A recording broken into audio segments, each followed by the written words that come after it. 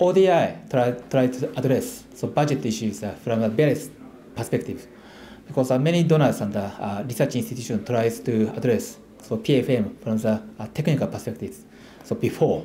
But the recent trend is uh, to address so PFM from both technical and non-technical aspects.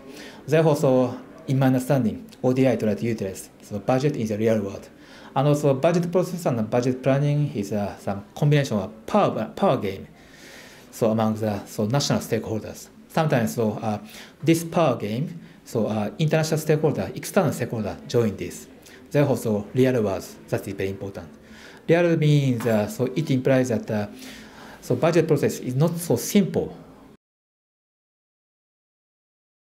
We launched our position paper for February this year, 2013.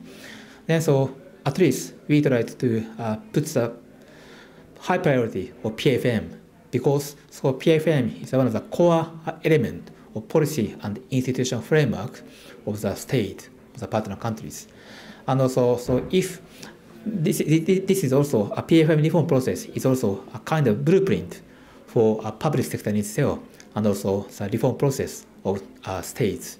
Therefore, so we put high priority of this PFM. Three aspects is very important. One is uh, to address overall reform process uh, second one is uh, to implement the individual uh, measures so laid out in the uh, reform program. Third one is uh, so uh, uh, implement organization like uh, SOE or some public corporation and entities because so uh, these should be complement each other. That is a priority.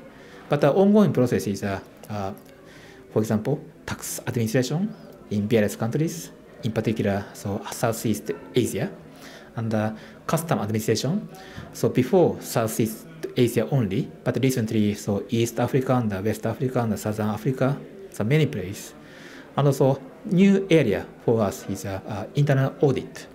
Currently, so Mongolia and uh, Tanzania and Ghana. Uh, in Ghana case is very interesting because uh, this is a, a sector focused PFM assistance, so agricultural sectors. So we are uh, external stakeholders for partner countries. It means uh, what we can do is very limited. Because in that sense, so political economy, so we should so watch every time, and who takes the lead of the reform process in the partner countries, for example, at ministerial level and uh, uh, senior level and working level. That is a very important aspect of the political economy.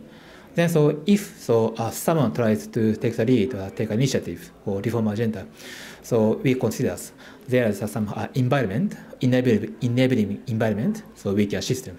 But uh, if not, so so that country is not ready for receiving our assistance. We also need to recognize so other uh, external stakeholders, what can do is very limited, just a drop of water in the oceans. Yeah.